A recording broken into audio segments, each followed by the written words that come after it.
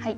使っているバッグは、えー、白いキャンバストートバッグ使ってましてこちらはファーマーズテーブル恵比寿のファーマーズテーブルさんで購入しました、えっと、夫婦でハンドメイドのバッグとかエプロンとかを作られているゆうとさんという、えっと、ユニットのものになりまして、えっと、もう大容量いろんなサイズ展開あるんですけれども大容量であのお仕事用のバッグとして愛用させていただいています。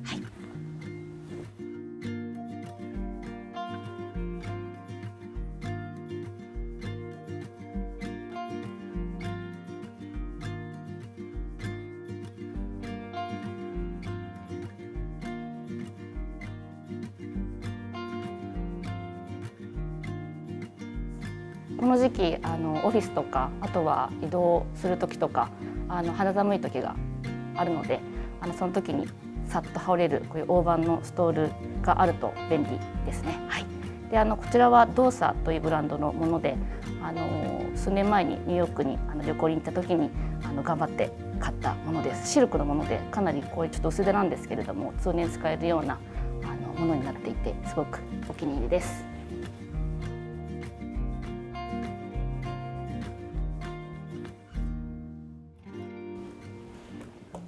ちらはコムデ・ギャルソンのお財布です。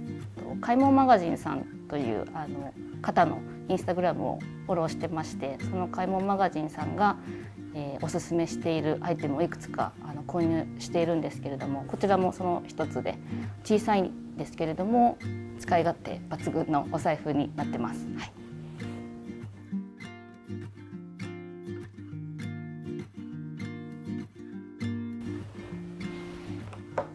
名刺入れです。こちらは表参道のスパイラルマーケットで購入したものになりましてその名も印籠という名刺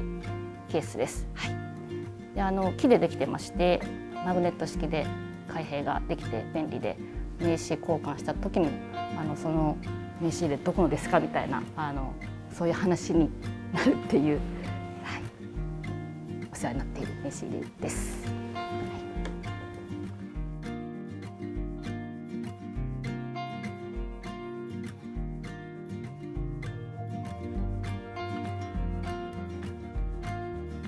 帯です。携帯は iPhone8 を使ってます、はい、特にこだわりは全くないんですけれども小物を結構黒とか茶系のアイテムでまとめているのでこちらもケースはシンプルな黒で統一してます。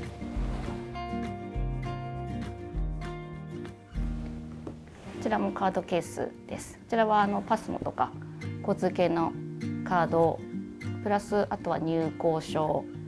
あとはとお財布に入りきらなかった、えーと、ポイントカードとかカードを入れてます。はい、こちらは、えっと、キナリノモールにも出店しているツールズさんというお店の展示会でいただいたものになりましてかなりあの味が出てきていい感じに仕上がってます。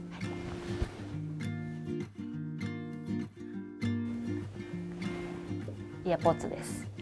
こちらもあの黒色で揃えてます。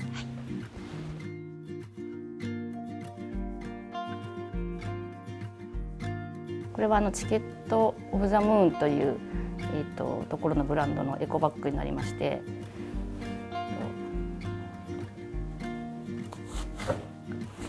こういう感じで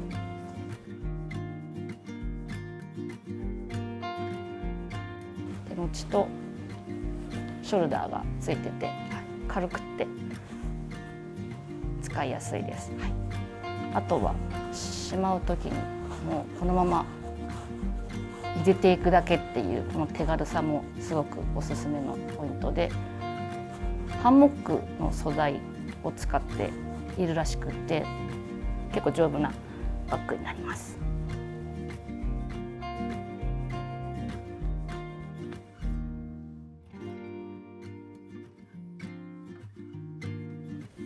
おなじみのハイドロの水筒で500、600ミリ弱ぐらい入るものになります。この時期はもう欠かさず持ってます、はい、この水筒もこの取っ手がついているものが今一番気に入っているのでハイドロ率高いです、はい、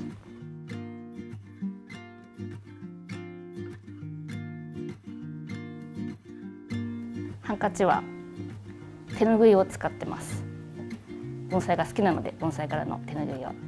ってきました。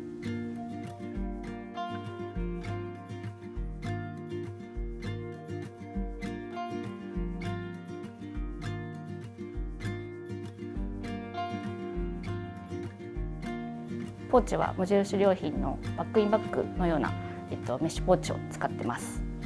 結構大容量であんまりちっちゃいポーチを持たないのでバンバンちっちゃい小物類とかを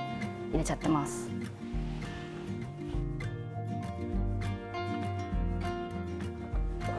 あんまりメイクはしないんですけれどもこの時期、えっと、SPF が入ってるナチュラグラッセの、えー、パウダーとあとは、えっと、リップにもチークにも使える RMS ビューティーのリップカラーチークカラーはいつも入れてます。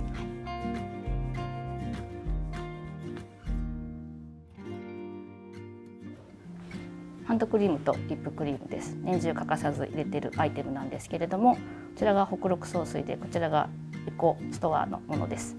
こう、えっと、身につけるアイテムはナチュラルなアイテムを選ぶのが多いです。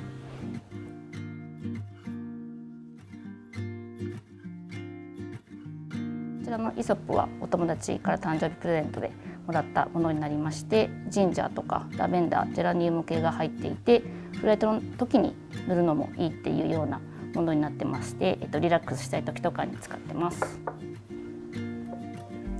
でこちらはきなりのモールでも販売しているシロさんのロールオンアロマになるんですけれどもこちらも、えっと、ハーブとかスパイスとかを使ったものになってましてえっと、お線香みたいな香りちょっと和風な匂いになってましてそこも気に入ってるポイントです。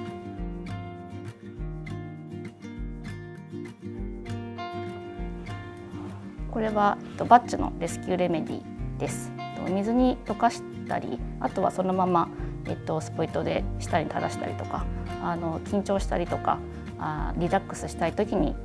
飲むフラワーエッセンスもお守り的に入れてます。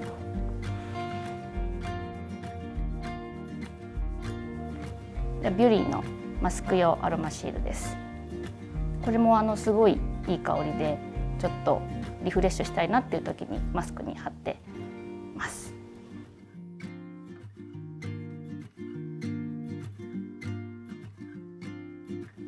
牟礼横さんの本ですムレヨコさんのえー、エッセイとかはよく読んでいるんですけれども今はこのゆるい生活という漢方系のあの話がたくさん載っているものを絶賛、えー、拝読中です。